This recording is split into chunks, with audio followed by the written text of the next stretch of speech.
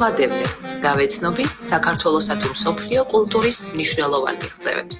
ვაანალიზებ ისტორიას და ვავლენ საინტერესო ფაქტებს. ამ სფეროში არსებულ პრობლემებს და ვესაუბრები თანამედროვე არქიტექტორებს და მხატვრებს. კითხვებს ხუსვავ კურატორებსა თუ კრიტიკოსებს. ვისმენ პროფესიონალების და ფსიქოლოგების აზრს.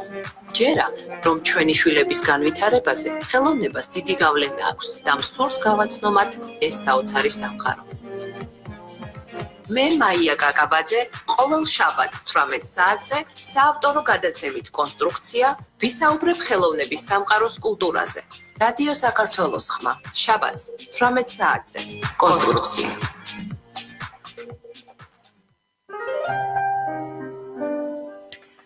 მოგესალმებით რადიო საქართველოს ხმის პირდაპირ ეთერში მაია კაკაბაძე საავტორო გადაცემით კონსტრუქცია საინტერესო ფაქტები ხელოვნების ისტორიიდან. გადაცემა საშუალებას გაძლევთ პირდაპირ ეთერში მოისმინოთ, დასვა თქვენთვის საინტერესო შეკითხვა და მიიღოთ პასუხი სტუმრებისგან ნომერზე 79202303 მობილური ოპერატორიდან დაუმატეთ 0. ასევე ჩვენი Facebook გვერდი საქართველოს ხმაშვიდი და ცხრის საშუალებით შეგიძლიათ მოგწეროთ თქვენი შეკითხვა. ჩვენი დღევანდელი თემაა რეპრესირებული ქართველი მხატვრის ტრაგიკული ბედი, პეტრე ოცხელი. მხატვარი, რომელმაც აღიარება სიცოცხლეშივე მოიპოვა და ვისი ცხოვრება და შემოქმედებაც დღემდე უამრავ კითხვას აჩენს. ჩვენი სტუმარია ქალბატონი მერი მაცაბერიძე, ხელოვნებად მცოდნე, შალვა ამირანაშვილის სახელობის ხელოვნების მუზეუმის კურატორი, ვალერიან გუნიას სახელობის თეატრალურ ხელოვანთა ახალგაზრდული კავშირის იტა იუნიონის პროექტების მენეჯერი. იგი შეეცადა თავის ნაშრომში თავი მოეყარა მხატვრის ბიოგრაფიის გაფანტული, ცნობილი, ნაკლებად ცნობილი თუ ოცნობი დეტალებისთვის, რაც ზეპირ მოგონებებზე, ეპისტოლურ და საარქივო მასალებზეა დამყარებული. ქალბატონი მერი ამბობს, რომ ამა თუ იმ ხელოვნების ნიმუში სახქმა, ისევე როგორც თვით ხელოვანის მიერ არსებული სინამდვილის სახქმაც, მხოლოდ დროის კონტექსტშია შესაძლებელი. პეტრე ოცხელს, რომელმაც უზრუნველი ბავშვობა თბილ ოჯახურ გარემოცვაში გაატარა, სადაც ყველას უნთქავდა თეატრალური და ზოგადად თანამედროვე ხელოვნების მიღწევებით, ადრეულ ასაკშივე, ისევე როგორც მისი თაობის მრავალ შემოქმედს, მოუწია პირველი მსოფლიო ომისა და ოქტომბრის რევოლუციის შინაგანი წინააღმდეგობებით ახსავსე ეპოქის გამოვლა. შემდეგ დამოუკიდებელი საქართველოს ხანმოკლე პერიოდი ბოლშევიკური რუსეთის მიერ საქართველოს ანექსიით შეიცვალა. კიდევ უფრო გართულ დავითარება მომდევნო პერიოდში, როდესაც სოციალისტური წყობის დიქტატურა დამყარდა, რასაც შემოქმედისთვის თავისუფალი სივრცის შეზღუდვა მოხდა. ხატრისთვის ყველაფერი დასრულდა 1927 წლის რეპრესიებით, რომელთაც 30 წლის ასაკში შეეწირა ხალხის მტრად მონათლული უდანაშაულო ხელოვანი. ხატრის შემოქმედების ინსპირაციის ძირითად წყაროს ქართული თეატრის რეჟისორის კოტე მარჯანიშვილის თეატრალური დადგმის ესთეტიკა განაპირობებდა. იგი ქართული თეატრის რეფორმატორის რეჟისორ კოტე მარჯანიშვილის სკოლის თეატრალური მხატვარი იყო. პეტრე ოცხელი კოტე მარჯანიშვილთან ერთად ქართული თეატრის აღორძინების საქმეში ერთ-ერთი მნიშვნელოვანი ფიგურა გახლდათ. მან უდიდესი წვლილი შეიტანა ქართული სცენოგრაფიის განვითარებაში. მხატვრის შემოქმედება დღემდე გაოცებისა და აღმოჩენის წყაროდ რჩება. 22 წლის ასაკში მისი სცენოგრაფიით შექმნილი სპექტაკლი კარლ გუცკოვის ურიელა კოსტა ხატრული გადაწყვეტით ამჟამადაც მაყურებელთა დიდ ინტერესს იწვევს. მრავალი სტატია, მოგონება თუ კვლევა გამოქვეყნებულა მხატვრის შესახებ, მაგრამ ინტერესი მისი ბიოგრაფიისა და შემოქმედების მიმართ არ ცხრება. პირიქით, რაც დრო გადის, მით უფრო იზრდება. პეტრე ოცხელის პიროვნების, მისი როგორც მხატვრის განხილვა, პირველ ყოვლისა მისი ბიოგრაფიული ცნობების შესწავლისას უნდა დავიწყოთ. რადგან დიდი მნიშვნელობა ენიჭება იმ სოციალურ გარემოს, რომელშიც უხდება მოღვაწეობა მხატვარს. ქალბატონო მერი, მოგესალმებით. კეთილი იყოს თქვენი მობრძანება ჩვენს რადიო ეთერში და გაგვაცანით ახალგაზრდა პეტრე ოცხელის ბიოგრაფია. მოგესალმებით. მივესალმები მაყურებელს და მსმენელს. პირველ რიგში დიდ მადლობას, დიდ მადლობას მოგახსენებთ მოწვევისთვის. აა პეტრე ოცხელი წარმოშობით, საერთოდ ოცხელების გვარი წარმოშობით შუა საუკუნეებიდან მოდიან, მაგრამ ოცხელი თვითონ არ არის მათი ნამდვილი გვარი. მათი ნამდვილი გვარი იყო მანანაშვილები. აა მანანაშვილები და როგორ მოხდა ამ გვარის შეცვლა, ამასაც მოგახსენებთ. ისინი ახალციხიდან იყვნენ დაბა ოცხედან. დღეს ამ დაბას ეწოდება აბასთუმანი. აბასთუმაში დღესაც ჩამოდის მდინარე ოცხე. ისინი იყვნენ დიდ ვაჭრები და კათოლიკები. როგორ მოხდა მათი კათოლიკება? თავიდან ისინი იყვნენ მართლმადიდებლები. ну ჩვენ ვიცით რომ მე-16 საუკუნეში ოსმალოები შემოესია საქართველოს და დაიპყრეს ზუსტად ეს მხარე. ისინი აიძულებდნენ მუსლიმის მიღებას ადგილობრივ მაცხოვრებლებს. და კათოლიკე მისიონერებმა მიაღწიეს ესეთ შეთანხმებას, რომ რომის პაპი შეუთანხმდა მუსლიმებს, რომ კათოლიკებს არ შეეხებოდნენ და არ დააძალებდნენ ჯულის შეცვლას. ამიტომ მართლმადიდებლები გადადიოდნენ კათოლიკურ სარწმუნოებაზე. მიუხედავად ამისა, მაინც შევიწროვებულები იყვნენ. თავისთავად იცით აი ამ ხრიდან წარმოშობილი კათოლიკები და ძირითადად აი ეს ოცხელებზე მინდა გავამახვილო ყურადღება ისინი იყვნენ ძალიან გაწაფულები ვაჭრობაში. და სოლომონ მეორე დაინტერესებული იყო მათი გადმოსახლებით იმერეთში. და კიდევაც განახორციელა ეს. როდესაც ისინი სოლომონ მეორესთან მივიდნენ მანანაშვილები აუდიენციაზე მეფეს მოახსენეს რომ ოცხელი ვაჭრები მოვიდნენ მასთან. აი იმ დღიდან მანანაშვილები გახდნენ ოცხელები. პეტრე ოცხელის ბაბუას ასევე პეტრე ერქვა, ავდა ორი შვილი და აი მათი შთამომავლები არიან დღევანდელი ოცხელები და თვითონ პეტრეც. ანუ პირველად მე-18 საუკუნეში გადასახლებული დიდი პეტრე ოცხელის მეხუთე თაობა არის. ისინი იცით ეწეოდნენ ვაჭრობას, მათი პირველად გახსნეთ სამღებრო სახელოსნოები. პეტრე ოცხელის მამის, ესე იგი ბიძაშვილები იყვნენ იოსებ ოცხელი და კოტე ოცხელი. იოსებ ოცხელმა პირველი პირველი საბავშვო ბაღი ჩამოაყალიბა ქუთაისში. ასევე ილია ჭავჭავაძის დახმარებით იგი ესეთი აქტიური წევრი იყო.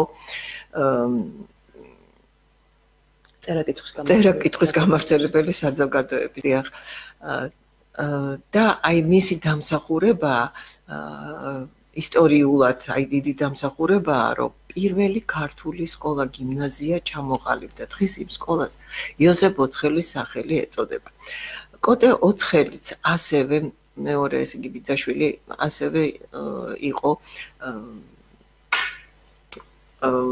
ვაჭარი. არა, იცით კოტე ოცხელს ჰქონდა თავისი ციგნების მაღაზია და ძალიან ეხმარებოდა ახალ ახალი გამოცემული, აი რედაქტორებს ახალი გამოცემული ციგნების ესე გავრცელებაში, გავრცელებაში. და მუდმივად თხოვდა რომ გამოუგზავნონ ის ისინი აფიშებიც წინასწარი ესე იგი განაცხადები პოპულარიზაციას უწევდა ახალ კი ბატონო და თან რასაკურნა მატერიალიზაციასაც ახდენდა და აი ეს წერილები რომლიც საიდანაც მე ეს ყველაფერი შევიტყვი ინახება ლიტერატურის მუზეუმში.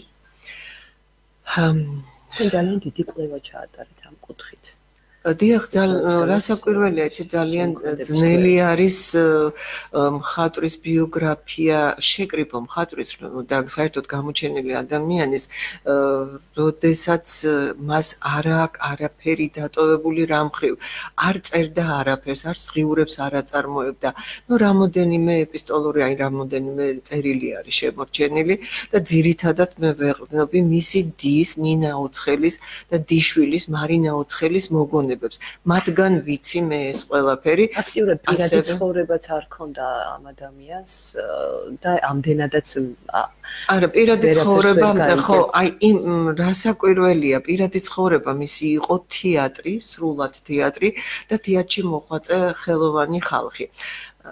მსახიობები, დრამატურგები, რეჟისორები, კომპოზიტორები, ქორეოგრაფები და აი სწორედ სიტყვა მოიტანა და თამარ ვახახუშვილს კომპოზიტორს აქვს შესანიშნავი მოგონებების წიგნი დაწერილი ესეთი 11 წელი კოტე მარჯანიშვილთან, სადაც ჩვენ და საბედნიეროდ იგი აღწერს თითქმის თითქმის ყველა მოვლენას, ყველა სპექტაკლის განხორციელების ესე იგი ისტორიას და ამდენად ივსება ოცხელის ბიოგრაფიული მონაცემები. პეტრე ოცხელის პიროვნებას კონტენ თამბი.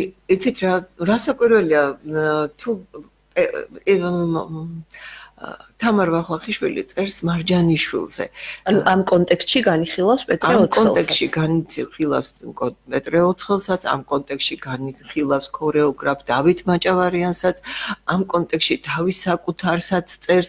ანუ ეს იყო გუნდური მუშაობა და ეს გუნდური მუშაობა იყო ჩამოყალიბებული და დამკვიდრებული მარჯანიშვილის მიერ და ზოგადად მარჯანიშვილის დიდი დამსახურებაა, რომ მან ქართული თეატრის რეფორმა მოახდინა.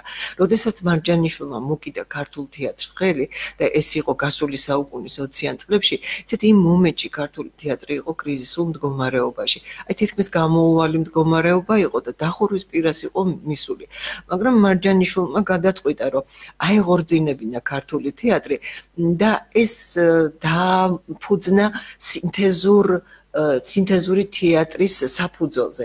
და რა ითვალისწინებდა ეს? პირველ რიგში ეს იყო, რომ იგი აერთიანებდა მხატვარს, კომპოზიტორს, ქორეოგრაფს და ეს სამი სახეობა უკაცრავად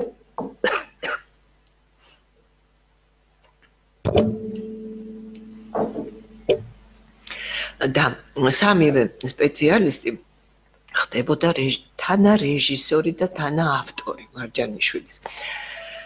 ამან ძალიან დიდი ბიძგი მისცა ქართულ თეატრს და რასაკვირველად დიდი წარმატებით წარიმართა ყველაფერი პირველივე სპექტაკლიდან თავიდან მარჯანიშვილმა დაიწყო სიდამონერის თავთან ერთად მუშაობა რომელიც დახვდა რუსთაველის თეატრში შემდეგ მან ისიც სულ ეძებდა ახალ კადრებს ეძებდა იმიტომ რომ მას უნდოდა როგორც თვითონ ამბობდა ხელ გაუტეხავი ხატრები კომპოზიტორები.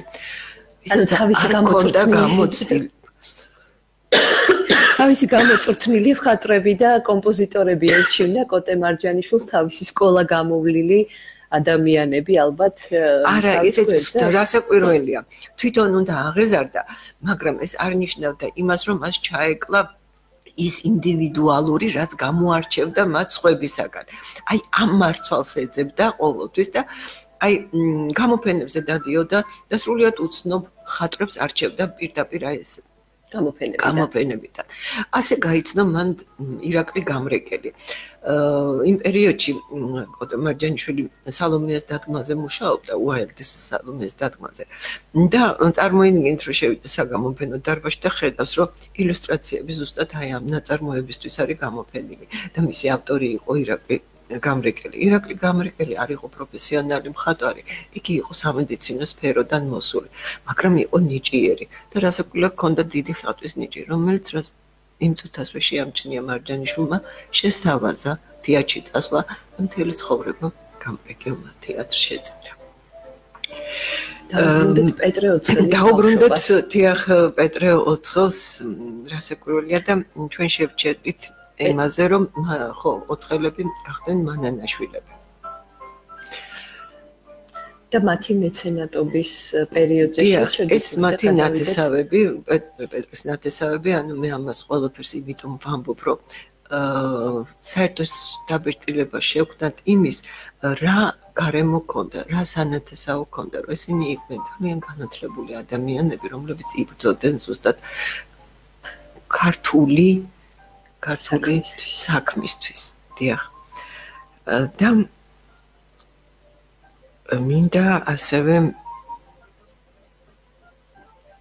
კალბატონო მერი ხო, უკაცრავად ამ პაუზისთვის გადავალ ახლა იმაზე როდის დაიბადა პეტრე არცხელი დაიბადა ეს ცოტა ტრაპარეტულია ყველა მიცის რასაკურული ეს მაგრამ მაინც ითხოვს გადაცემა რომ ალბათ აღნიშნო პეტრე ოცხელი დაიბადა 1907 წელს ქალაქ ქუთაისში.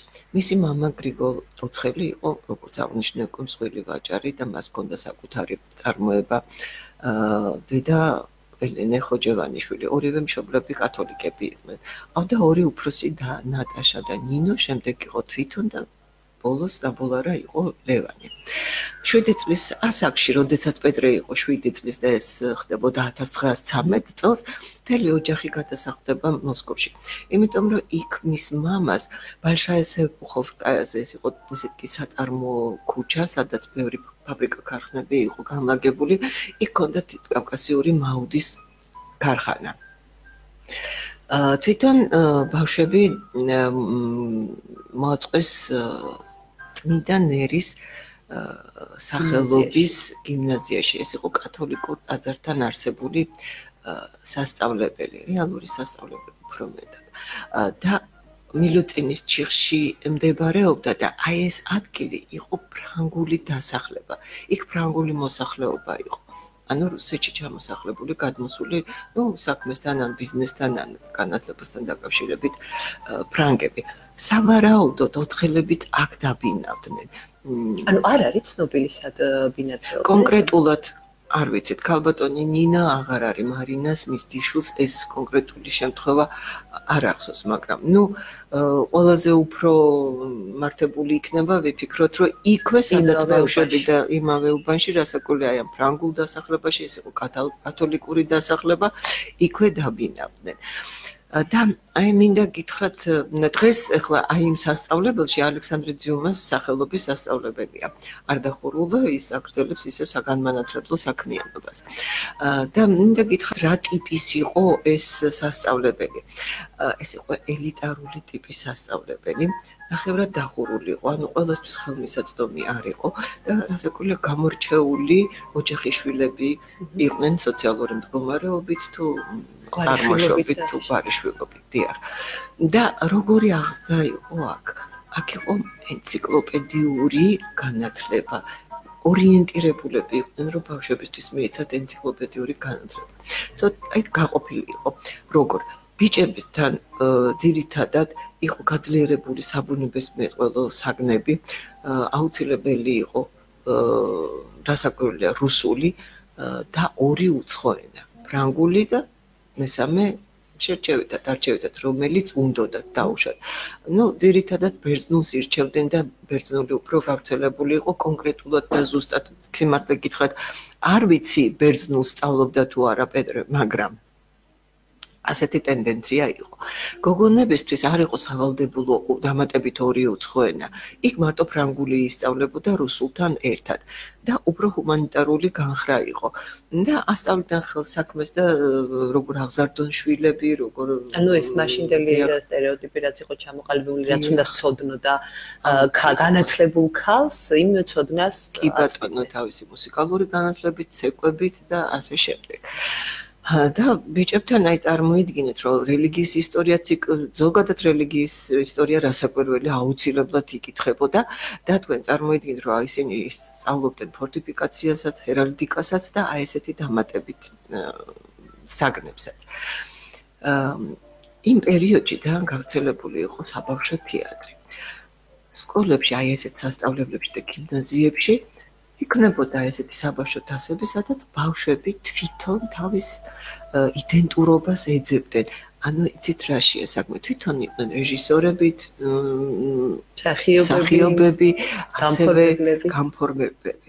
ну, თქვენ დამასწრეთ უკვე ეს და ალბათ ხვდებით, რომ პეტრე იყო გამფორმებელი, ანუ აი ეს დეკორატიული მხარე შეკავზმა, ანუ შემკობა აი ამ დადგმების აა მისი იყო და კიდევაც ყვებიან რომ პეტრე აფორმებდა, აკეთებდა და იმდენად პატარა იყო თანად რომ აი ამ მის მიერ აღმართულ სცენოგრაფიულ მაკეტებს. მაკეტებს არა უფრო დაფებს მოდი ვთქვა დეკორაციებს bis შეღებოში უბრალოდ ესენი მოსწავლეები ეხმარებოდნენ ეხმარებოდნენ დიახ.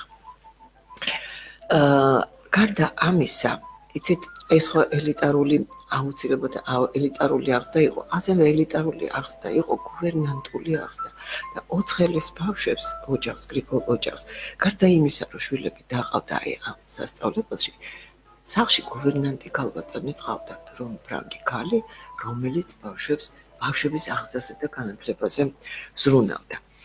ეს და ასევე ძალიან გავრცელებული იყო იმ პერიოდში სახლის თეატრი, საბავშვო სახლის თეატრი. ბავშვები აწყობდნენ საღამოებს, ეს იყო თეატრალური დადგმები, ეს იყო კონცერტები, ექვს ხელში უკრავდნენ ფორტეპიანოზე, ასევე მღეროდნენ. პეტრე ასრულებდა თავის დასთან ერთად ესპანურ ცეკვას წყვილში და ეს იმართებოდა სტუმრებისთვის და საკმაოდ ხშირად. ანუ აქ იყო აი ესეთი შემოქმედებითი დიდი გარემო. და რაც მთავარია, ის რაც ხდებოდა პეტრესთან, რო ის აკეთებდა აი ასეთ სცენოგრაფია სცენოგრაფიაში, ну მაშინ არ ერქვა სცენოგრაფია, მე დაერქვა ამ სცენოგრაფია, თუმცა 30-იან წლებში პეტრე ოცხელი უკვე აპროტესტებდა ამას და იძახდა რომ მე თეატრის მხატვარი კი არ ვარ, მე სცენოგრაფი ვარ. და ისეთ რა აი ესეთი მიდგომა ბავშვებთან მათ უნვითარებდა და პირველ რიგში პეტრეს რომელიც იყო ძალიან ნიჭიერი და ყველაფერს ამას საოცრად ისრუტავდა სიფრცულ აზროვნებას სამგანზომილებიან აზროვნებას. ასე რომ როდესაც პეტრემ დაიწყო თეატრში უკვე როგორც პროფესიონალმა მუშაობა ის უკვე გარკვეულწილად მომზადებული იყო და მომზადებულიც იყო. მე ოჯახურ ტრადიციად ითვლებოდა თეატრში სიარული. სპეციალურად იღებდნენ ერთ ლოჟას, სადაც მთელი ოჯახი სეზონის განმავლობაში ლოჟაში დადიოდა. კი, სეზონის განმავლობაში და ტრადიცია იყო დიქვაროვან ოჯახში. დიახ, დიახ. არც სპექტაკლს არ აცდებდნენ. და პეტრეს მუდმივად ქონდა უბის ციგნაკი, რომელშიც აკეთებდა ჩანახატებს. და აი ეს ჩანახატები და ის რასაც ის ხედავდა სცენაზე, ну, სადახორციელებდა, რასაკვირველია სკოლაში და სახლში. კაპიტანები, თუ არის შემონახული პეტრე ოცხელის ბავშვობის დროინდელი ან ადრეული ნამუშევრები? იცით რაშია საქმე? ძალიან სამწუხაროა ის ამბავი, რომ არ არის შემორჩენილი და მე მაქვს ქალბატონი ირინე აბესაძის მოგონება.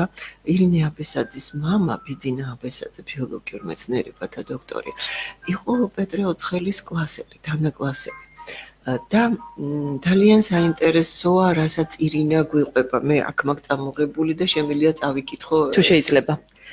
რასაც ჩვენ ირინა გვიყვება.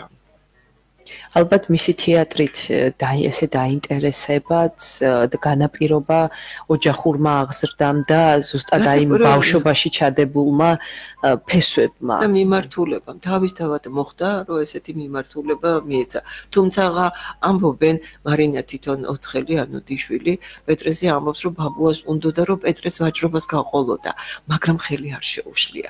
თქო და ყოველას უნდა რომ ოჯახური ტრადიცია გააგრძელოს ხო ის პირველია ეხა მე გეტყვი თქვენ რატომ არ შემოგრჩა პეტრეს ბავშვობის ნამუშევრები ის რაც მოსკოვში შეიქმნა ის მოსკოვშივე დარჩა და რატომ ამას არსად არ იქნება იქ შენახული ან რომელიმე არქივში კი იცით ეხლა მოგიყვებით. სახლში არის ერთი პროგრამა აი იმ საბავშვო წარმოდგენების პროგრამა რომელიც არის პეტრეს ხელით სხვათა შორის დახატული და გაფორმებაში დეკორში ისე არის ჩაწერილი პეტრეს პეტრე რო ამოსაკითხია და აი შემთხვევით ამოვიკითხე როგორ ამოვიკითხე მე თვითონაც არც მაგრამ გაიხსნა თავისით ეს წარწერა ეს აი ეს ერთადერთი ბავშვობის ნამუშევარი არის მარინა ოცხელის ოჯახურ არქივში.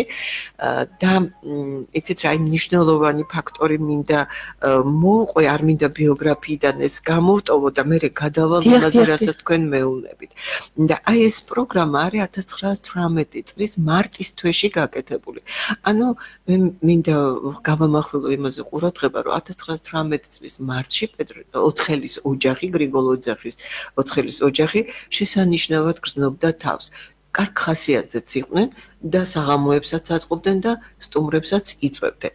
მაგრამ მარინა ოცხელი მოგონებებში ხაზგასმით ამბობს, რომ 1918 წლის აგვისტოდან ოჯახს ძალიან გაუჭირდა. რა მოხდა ესეთი, რომ 4 თვეში შეიცვალა მათი მდგომარეობა? და რასაკვირველია ამის ახსნაც მოიძებნა. აა ბალშა ესერპუხოვსკაიაზე, სადაც გრიგოლ ოცხელს ქარხანა ქონდა, მე როგორც გითხარით, ეს იყო ქარხანა ფაბრიკების ქუჩა. მიხერსონის ქარხანაში მოეწყო მიტინგი, სადაც ბოლშევიკების ბელადი ლენინი გამოდიოდა სიტყვით. აი ამ მიტინგზე ნახევრად ბრმა ქალმა, ფანი კაპლანმა 4 გასრულით დაჭრა ლენინი. სავარაუდოდ ამ შემთხვევის შემდეგ მოხდა ყველაფრის დახურვა და ჩამორთმევა. გასაგებია. დაიწყო პოლიტიკური რეპრესია. დაიწყო პოლიტიკური რეპრესიები და ამდენად ოჯახიც ძიმე მდგომარეობაში ჩავარდა. იმდენად ძიმე მდგომარეობაში ჩავარდა, რომ მარინა ყვებარო ბაბუა ბიჭებთან ერთად მიდიოდა სოფელ-სოფელ დადიოდა სიცივეში, იმაში თოლში, მაგრამ ჩამოქონდა აი ესეთი რუსული ნაკეთობები, ხის ნაკეთობები, რომელსაც მე მოსკოვში ყიდდა და აი ამით ახერხებდა თავის გადარჩენას. მაგრამ რასაკვირველია დიდხანს მათვე ეს ვერ შეძლეს და 1819 წელს უკვე დაიძრენ რუსეთიდან საქართველოსკენ, ჩამოვიდნენ უკვე 1920 წელში საქართველოსში იყვნენ, ისინი წამოვიდნენ 4 თვალა ფორანით იქიდან სხვა ქართველებთან ერთად. ნუ წარმოიდგინეთ ახლა რამდენი ხანი მოუწევდათ მათ გზაში მოგზაურობა, რამდენ ხიფათს, რამდენ განსაცდელს გადაიტანდნენ და მოხდა ისე რომ საბოლოო საბოლოოდ აი ესეთი დამანგრეველი იყო მათთვის ის რომ ჩამოვიდნენ თბილისში და დედამ დატოვა ოჯახი. წავიდა. არავის უდიდესი ტრაგედია და ეს თუ არის რაიმე ცნობა, რატომ ხდა? არა, არავინ ამაზე არ ლაპარაკობს აბსოლუტურად და ეს თემა საერთოდ აბუდადებული იყო. არც мама, არც ნათესავები არავინ ამას არ ეხებოდა. რა ფსიქოლოგიური ტრამვა მიიღო 4 შვილის დედამ, რომელმაც ესე ერთბაშად აიღო ხელი ყველა. ნუ რაღაცა სერიოზული, ალბათ სერიოზული მიზეზი იყო რასაკვირველია. თუმცა ბავშვებისთვის ეს იყო ძალიან დიდი. ასა წავიდა შემდგომ ეს ქალბატონი არ არ არ მიშესახებ.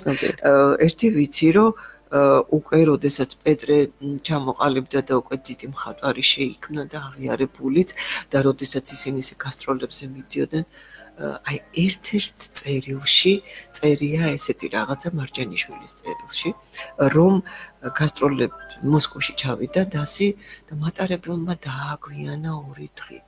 და გაბრაზდნენ იმიტომ რომ არავინ არ დახვდა სადგურში. და ჩამოთვალა რომ აი გრიშა გაბრაზდა იმაზე ვიღაცა ამაზე მე გავბრაზდი იმაზე იმიტომ რომ არ დამხვდა და პეტრე გაბრაზდა დედაზე. შესაბამისად დედა მოსკოვში იყო. და ვერ დახვდა, იმიტომ რომ მატარებელმა აი ეს არის ერთ-ერთი მინიშნება იმის, რომ სავარაუდოდ დაბრუნდა ეს ქალბატონი მოსკოვში. არაფერი არ ვიცი. როდის მოხდა ეს, როგორ მე ამას ვერ გეტყვით. სავარაუდოდ ამას ალბათ ცალკე კვლევა ჭირდება.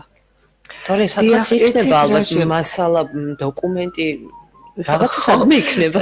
იცით რა, ხო, ნუ რო გითხრათ რომ ეს ჩემთვის დიდ ინტერესს წარმოადგენს, რომ გავარკვიო, როდის წავიდა თბილისიდან და იქ რასაკეთებდა, უკვე აღარ არის. თავარია რომ ის არ იყო პეტრეს გვერდზე და ამას ჰქონდა ძალიან დიდი მნიშვნელობა პეტრესთვის და იცით რა, აი დაღი დაასვა მას და თელმის შემოქმედებაშიც კი შეგიძლიათ ეს წაიკითხოთ და დაინახოთ ის ტკივილი და სევდა რომელიც იყო გამოწვეული იმით რომ აი დედამ დატოვა. თან ეს ისეთი პერიოდი იყო, როდესაც გადატეხის ასაკი იყო, პეტრე 13 წლის მე-14 ასაკში, მე-14 წელსში იყო გადაწყვეტილი და მოკლედ საკმაოდ მძიმე იყო მისთვის და არა მარტო მისთვის, მისი მამისთვის. ნინა მაგალითად აი ეს თათული ღვინიაშვილის მოგონებებიდან, რომელიც ახლოს იყო გალბატონ ნინასთან, პეტრეს დასთან, ყვება რომ აი ნინა ამბობდა რომ ძალიან გვიჭირდა სახში დაბრუნება, იმიტომ რომ დედა არ ხვდებოდა და უფრო მეტად მტკივნეული იყო სემდიანი მამის დანახვა. ასაკობრივი სხვაობაც ძალიან დიდი იყო და წარმოგიდგენი ახლა მოხუცი мама ხო, აი, იცით რა, შეიძლება სულაც ეს გამოიწვია იმან, რომ ცოლ-ქმარ შორის იყო დიდი ასაკობრივი სხვაობა 22 წელი და ამან იჩინა თავი ზუსტად აი იმ კრიზისულ მდგომარეობაში, რაშიც ისინი ჩავარდნენ. ნუ ყოველ შემთხვევაში ცხოვრება გრძელდება, ოცხელები თბილისში აღარ გაჩერდნენ და გამართენ ქუთაისში, იმიტომ იქ მათ ჰქონდათ სახლი და პეტრემ დაიწყო სკოლაში სიარული რეალურ სასწავლებელში და იქვე იყო სამხატვრო სტუდია და აი სამხატვრო სტუდიაში გააგრძელა ასევე ხატვაში მუშაობა.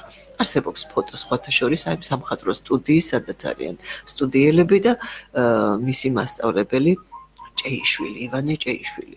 რომელიც ფოტოზე აღბეჭდილია პეტრე ოცხელი. იზით რა არის კლასია გადაღებული და შორი კადრია. ვერ დავიჩემებ, თუმცა მგონია რომ ხვდები რომელია იქიდან პეტრე, მაგრამ ივანე ჭეიშვილი გვერდით დგას და ჩანს. და როგორ წარიმართა შემდგომ პეტრეს ბედი ქუთაისში ჩამოსვლის დიახ, ჩვენ დაამთავრა სკოლა, დაამთავრა ეს სასწავლებელი, წარმატებულად ყველაფერი და შემდეგ წამოვიდა სამხატვრო აკადემიაში ჩასაბარებლად, დაბინავდა ბარდოზე დერბენტის შესახვევში და ჩააბარა სამხატვრო აკადემიის ფერწერის ფაკულტეტზე. პირველი წელი დახურა და მეორე და მესამე წელი უკვე არქიტექტურის ფაკულტეტზეა. და მოხდა ისე, რომ მოითხოვეს კადრები თეატრისთვის. ნიჭიერი ახალგაზრდები. და რა ხდება? თბილისში 1926 წელს გაიხსნა მუშა ახალგაზრდობის თანამედროვე თეატრი, რომელიც დაარსა ვლადიმერ შვეიცერმა იგივე პესიმისტმა, იგი იყო კინოსცენარისტი, სატირის სატირიკოსი, პამფლეტისტი და მას უკვე გამოცდილება ჰქონდა ასეთი თეატრის. ეს იყო სრულიად თანამედროვე თეატრი, იცით, აი ისეთი, რომელიც ასახავდა სოფლიოში მიმდინარე რუსეთში და სოფლიოში მიმდინარე თანამედროვე ტენდენციებს. იქ იყო ბრუნავის სცენაც, იქ შემოვიდა პირველად კინოკადრები შემოიტანა და მინდა გითხრათ, რომ აი, როდესაც შვეიცარმა დააარსა ეს თეატრი, მის გვერდში იყო კოტე მარჯანიშვილი. ამ თეატრს ქონდა ორი დასი, ქართული და რუსული დასი. რუსულ დასში იყო კოტე მარჯანიშვილიც, რადგანაც პესიმისტი და კოტე მოსკოვიდან მოყოლებული დიდი მეგობრები იყვნენ. და ეხმარებოდა კიდევაც დადგმებში და თვითონაც დგავდა ამ თეატრში. და პარალელურად იყო ქართული დასი. და აი ამ ქართულ დასში ასევე მოსკოვიდან ახალი ჩამოსული იყო ვახტანგ გაბაშიძე. რომელიც ვახტანგ ჭედლიშვილის სრულიად თანამედროვე თეატრალურ სტუდიაში სწავლობდა და ამთავრა და გაგრძელა თავისი მოღვაწეობა, ანუ გამოცდილება ჩამოიტანა თბილისში. და აი ვახტანგ გაბაშიძე იყო რომელმაც მიანდო პეტრე ოცხელს თავისი სპექტაკლის გაფორმება. და ამბობენ, რომ პეტრე ოცხელი არის მარჯანიშვილის აღმოჩენა. არა, პეტრე ოცხელი არის ვახტანგ გაბაშიძის აღმოჩენა და მარჯანიშვილის აღზრდილი შემდგომ. ეს იყო სპექტაკლი ცეცხლის გამჩაღებლები. ანატოლი ლუნაჩარსკის ცეცხლის გამჩაღებლები. ამ თეატრში პეტრე ოცხელმა სამი სპექტაკლი გააფორმა. ერთი სოლიკო ვირსალაძესთან ერთად. სრულიად ახალგაზრდა დასით იყო დაკომპლექტებული, ახალგაზრდა მსახიობები იყვნენ და ასე შემდეგ. მაგრამ შემოგჭა მხოლოდ ცეცხლის გამჩაღებლებიდან აა ესკიზები. ამიტომ შეგვიძლია მასზე საუბარი, მაგრამ აი ამ ფორმატში თავს ავარიდება მასე მხატვრობაზე, აი ამ სცენოგრაფიაზე საუბარს, რადგანაც ჩვენ გვინდა რომ განვიხილოთ მისი ბიოგრაფიული მონაცემები და არ მინდა დრო დავკარგო იმაზე რაც ფორმატში ამაზე შემდგომ ცალკე გადაცემას მოვამზადებთ ჩვენ აუცილებლად და განვიხილოთ მის შემოქმედებას. დიახ. და ესე იგი თქვენ დამისვით და მე მე მგონი გამოვტოვე ეს ხო? და აი რასთან დაკავშირებით დავიწყე ამის ყველაფრის მოყოლა რომ არ შემოგცა მოსკოვური პერიოდი.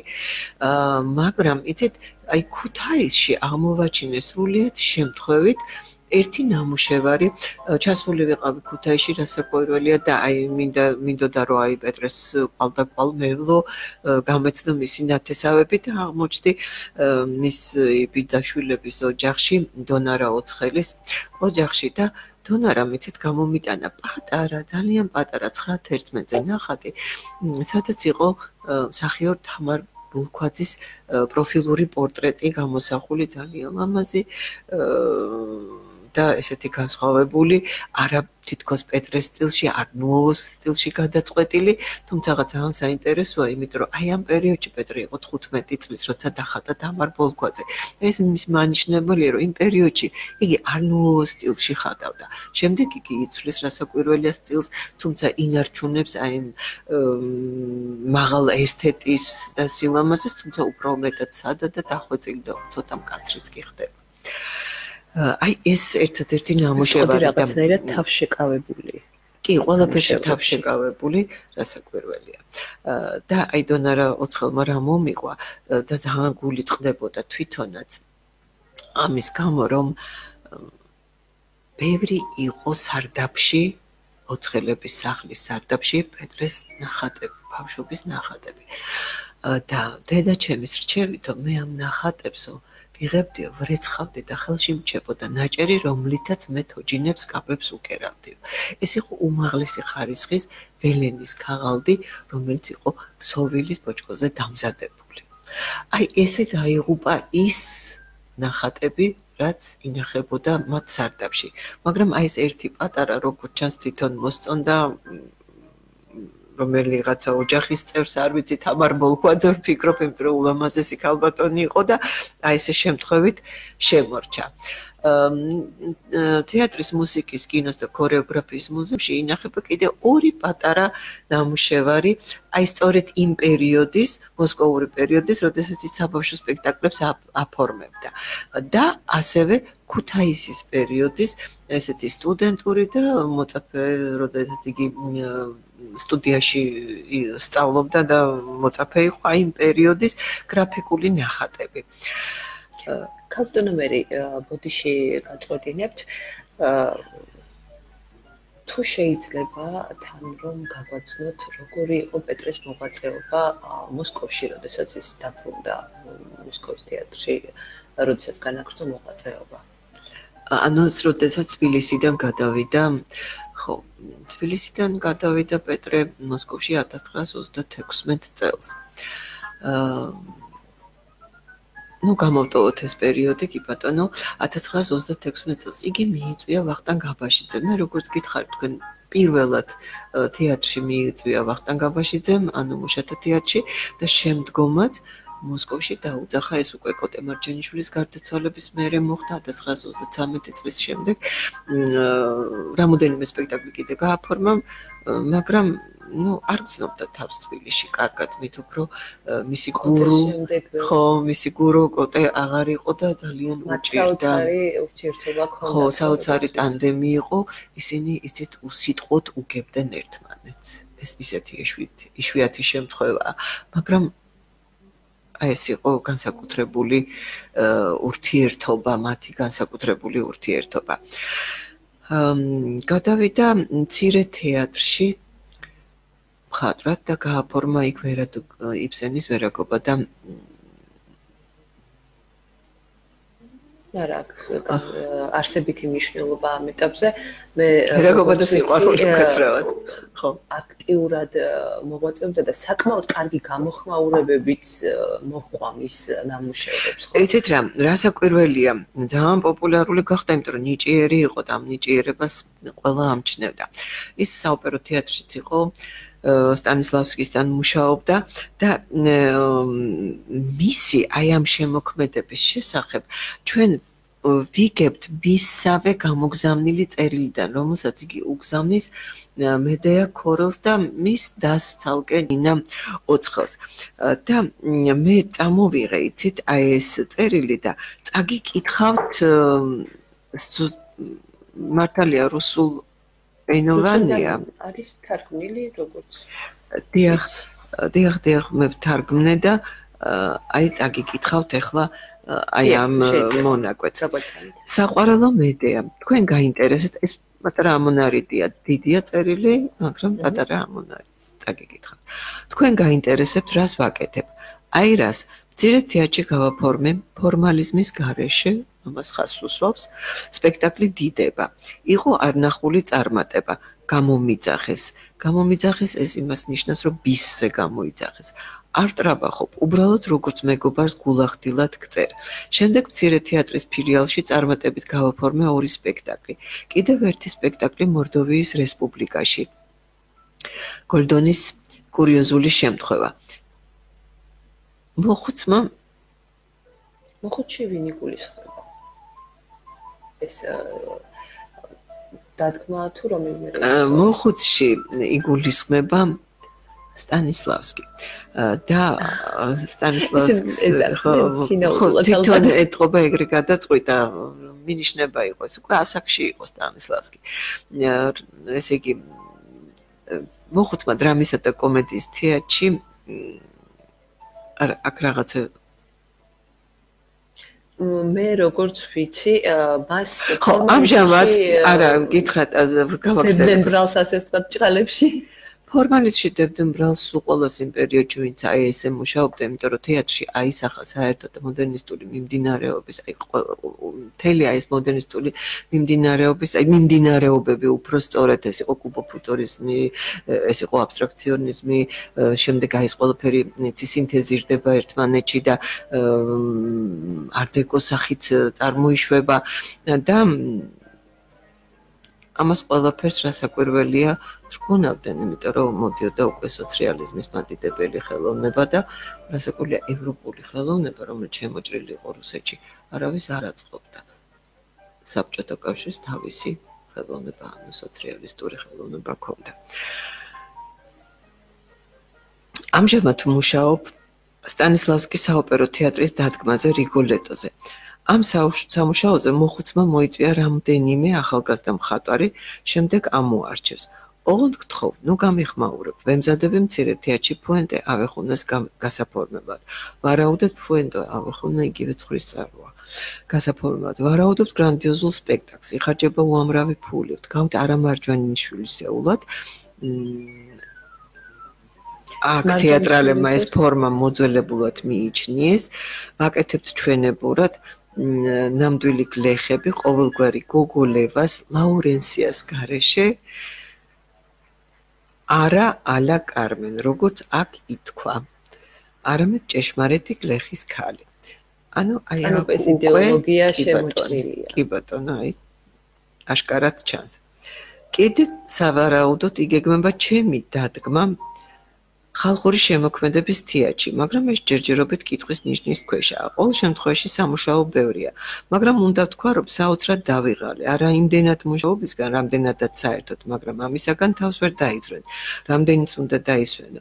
გულახდილობთ, რომ თქვა მეშინია კიდეც დასვენების. უზომოდ ვბერდები და ვჭაღარავდები, ბუკვალურად ყოველ საათში. ანუ პეტრე ოცხელი ალბათ თითქოს ასწრებდა ამ ყველაფერს რაღაცა რომ გრძნობდა თითქოს ალბათ წინასწარ თავის ბედს და ცდილობდა მოესწრო. რაღაც რა კი ესე თავს იტვირთავდა. რასაკვირველია თავს. იტვირთავდა. მაგრამ ეცით კიდევ შემდეგი წერილია ესეთი სადაც ის ამბობს რომ სხვანაირად მას არ შეუძლია. იღლება ძალიან მაგრამ სხვანაირად არ შეუძლია და იმასაც წერს რომ მოხუცმა ანუ სტანისლავსკიმ გამომიყენა მაგრამ ამას არ დაეძებს ოღონდ იყოლიოს იგი რეპერტუარში. ანუ ის თანახმა ყველაფერზე ოღონდ იმუშაოს. ოღონდ იმუშაოს. იმიტომ რომ თეატრს მისთვის ძალიან დიდი მნიშვნელობა ჰქონდა და იცით რატო ჰქონდა დიდი მნიშვნელობა? ჩვენ ვისაუბროთ იმაზე რომ აი დედამ მიატოვა ტრამვა მიიღო მოწყდა აი იმ არაჩვეულებრივ გარემო სადაც იგი თავს კარგად გრძნობდა ბავშვობაში სადაც ის იყო შემოქმედი. ქმნიდა სუ პატარა იყო მაგრამ ქმნიდა. და თეატრი მისთვის იყო დაბრუნება აი იმ ბავშვობაში. ის იქ ბრუნდებოდა როგორც აი სიმბოლურად რო წარმოიდგენთ დიახ დედის კალთაში. ამდენად მისთვის ამას ძალიან დიდი მნიშვნელობა და რა ფეთი ეწია და პეტრე ოცხლს აი იმ მაგილას გავჩერდი როდესაც იგი ამბობს რომ შეუკვეთა ესე იგი ჯუზეპე ვერდის რიგოლეტოს დადგმაზე მუშაობა სტანისლავსკი. და კონკურსი გამოაცხადა, მოკლედ კონკურსში გამოიმარჯვა პეტრე ოცხელმა, გამოიმარჯვა, მაგრამ ამ ამბავს ვერ ვერ განახორციელა, იმიტომ რომ დააპატიმრეს. თვითონ პროექტი თუ განხორციელდა? ესეთ რა, არა. იმიტომ რომ ხატულობა ოღონდ რაღაცა აირია, ალბათ შესაძლებელია, შეიძლება და ამის რასაკვირველია შეცვლა, იქ რაღაც აირია მოგვიანებით განხორციელდა. იმ წუთასვე არა, რაღაცა გადაიდო. არ ვიცი პეტრეს ესკიზებით იმავე არა არა სხვა მხატვრის უკვე სხვა მხატვრის და პოლიტიკური ნიშნით შეფერხდა სავარაუდოდ შესაძლებელია. სპექტაკლის შესაძლებელია. ნუ ლოგიკურად ალბათ ეგრე იყო რომ რატომ დააპატიმრეს? სრულიად აპოლიტიკური ადამიანი. იცით რაშია საქმე არ ვიცი ამ კითხოს ძალიან ბევრი მისვავს, რატომ დააპატიმრეს პეტრე ოცხელი. და მეც შეგეკითხები თქვენ, რატო აპატიმრებდნენ მოწინავე პროგრესულ ადამიანებს? რატომ დააპატიმრეს დიმიტრი შევარდნაძე? რატომ დააპატიმრეს ვახტანგ კოტეტიშვილი? რატომ დააპატიმრეს ჰენრიხ ხინევსკი, სანდრო ახმეტელი და ასე შემდეგ? ჩვენი გამოჩენილი ხელოვანი ხალხი, იმიტომ ისინი ქმნიდნენ ახალს. ახალ ევროპულ რასაკვირველ ეროვნულ ხელოვნებას. და ზოგადად ესეთი პოლიტიკა იყო, ეს იყო ტერორის პოლიტიკა, დაშინების პოლიტიკა და თან იცით იმ პერიოდში ძალიან გაძლიერდა ოპოზიცია სტალინის წინააღმდეგ და ქართული ინტელიგენცია შეეკრა ემიგრანტებს, ანუ ემიგრაციას. ეშინოდა ძალიან სტალინს. და გააძლიერა რეპრესიები. ამ რეპრესიებს რასაკვირველია შეეწია ბევრი მოწინავე ადამიანი. გასაგები, გაბატონო მერი, იცით, ხო არა მოიწურა ჩვენი დრო. დასასრულს უახლოვდება ჩვენი დრო და ჩვენც რომ ეს დასკვნითი და ინდა ბევრი დამჭა რასაკვირველია. და ძალიან ბევრი ამოუწურავი თემა და ჩვენს თემას დაუბრუნდებით გაბატონო მერი აუცილებლად სხვა გადაცემებშიც. თუმცა თუ დარჩა რამე ისეთი დასკვნითი ხასიათის პეტრე ოცხელზე რესი თქმაც თქვენ მსმენელისთვის გინდათ გისმენთ. იცით რა მოკლედ ბევრი მინდა რომ უთხრა მსმენელს მაგრამ ნუ ზოგადად დავემშვიდობები მსმენელს იმით რომ ჩვენ კიდევ შევხვდებით ერთმანეთს კიდევ მექნება საშუალება იმაზე რომ პეტრე ოცხელზე ვისაუბრო უკვე ვისაუბრებ მის შემოქმედებაზე იმ ფარულ პლასტებზე რომელიც არის მის შემოქმედებაში ჩადებული რომელიც აქამდე არ განხილულა არც არავის შეუმჩნევია და არც არავის ამოუწევია იმიტომ რომ ძირითადად ხდებოდა სცენოგრაფიული განხრით მისი განხილვა და ძალიან საინტერესოა ის, რაც პარალელურ სამყაროში თვითონ მხატვრის პარალელურ სამყაროში ვითარდებოდა. ყველაფერს, რასაც ის აკეთებდა და ხატავდა, ქონდა საზრისი. კონთ ეს იყო ფარული. და აი ამ ფარულ საზრისებზე, აი ამ ფარულ მიგნებებზე უდიდესი კვლევა ჩატარებული ამ ხატორთან დაკავშირებით, ამიტომ მოუთმელად ველოდებით თქვენ შემდგომ ვიზიტს.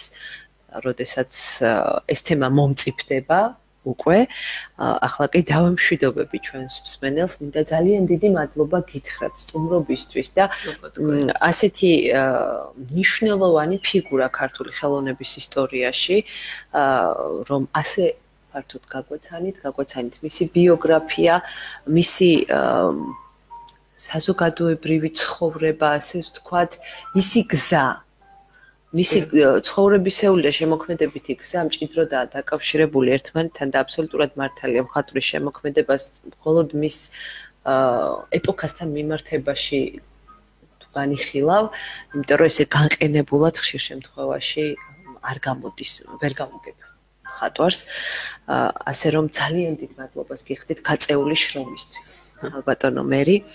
ახლა კი მინდა დავემშვიდობო ჩვენს მსმენელს და შეგახსენოთ რომ ეთერში იყო გადაცემა კონსტრუქცია რადიო საქართველოს ხმაშიც და 9-ზე მაია კაკაბაძე ჩვენ შევხვდებით მომავალ შაბათს კვლავ 18 საათზე ამავე გადაცემით კარგად წადით thank you